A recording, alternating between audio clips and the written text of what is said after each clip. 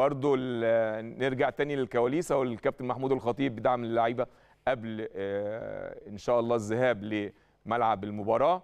بتمنى لهم أكيد التوفيق. وأنا على فكرة على فكرة أنا آه، كلاعب من ضمن اللاعبين السابقين في النادي الأهلي كانت الأمور دي بتفرق معايا. قلنا الكلام ده مرة واثنين وثلاثه بس كانت بتفرق معايا معنويا جدا جدا جدا قبل المباراة.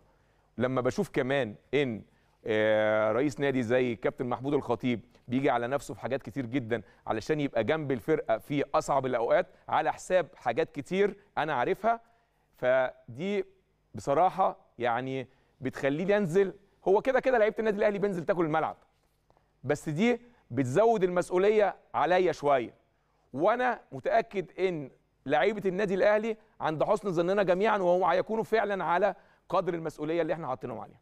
اهو بيسلم على قفشة كابتن محمود الخطيب بيسلم على بقية اللعيبة. ولكن نتمنى نتمنى إن شاء الله إن شاء الله التوفيق للعيبة النادي الأهلي اولا.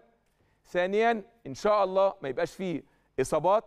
ثالثا واللي هي بقى اللي اللي إحنا دايما بنبقى مستنيينها حتة المكسب علشان نعمل إنجاز تاريخي ونوصل لنهائي كأس العالم للأندية. اتكلمنا على عمار حمدي اتكلمنا على الشناوي وقوفهم مع آه، زمايلهم.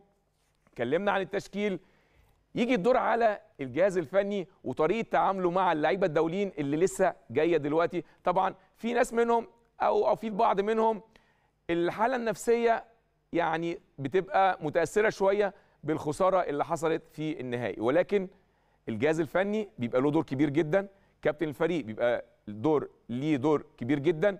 آه، الكابتن سيد عبد الحفيظ بيبقى ليه دور كبير جدا. وأعتقد إن لعيبة النادي الأهلي خلاص الدوليين طووا الصفحة ديت لأن النادي الأهلي زي ما بقول لحضراتكم في معترك عالمي كبير وبيمثل مصر وأفريقيا قدامنا إن شاء الله إنجاز تاريخي يتحقق النهارده علشان بإذن الله بإذن الله نلعب المباراة النهائية إن شاء الله يوم السبت القادم.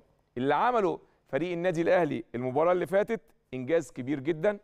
اللي عمله آه، لاعبو النادي الأهلي المباراة اللي فاتت بصراحة كلنا كنا منبهرين من الأداء.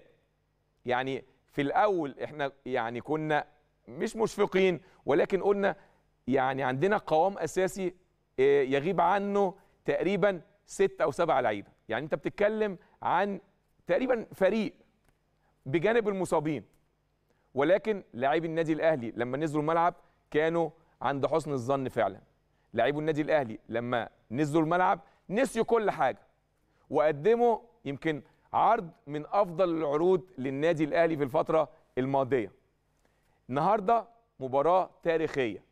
النهارده إن شاء الله طبعا أنا عارف إن المباراة صعبة إنما عندنا ثقة كبيرة جدا جدا جدا في لعيبة النادي الأهلي. وزي ما قلنا التشكيل النهارده وبرضه هقول لحضراتكم مرة أخرى علشان نكون متابعين هيبقى علي لطفي أيمن أشرف رامي ربيعة ياسر إبراهيم علي معلول محمد هاني اليو ديانج والسوليه محمد مجدي قفشة طاهر محمد طاهر وحسين الشحات. واحد بقى هيقول لي هو قفشة هيلعب على الطرف ولا هيلعب قدام الاثنين بتوع نص الملعب ديانج وعمرو السولية وطاهر محمد طاهر وحسين الشحات؟ هيبقى في لا مركزية. ده اللي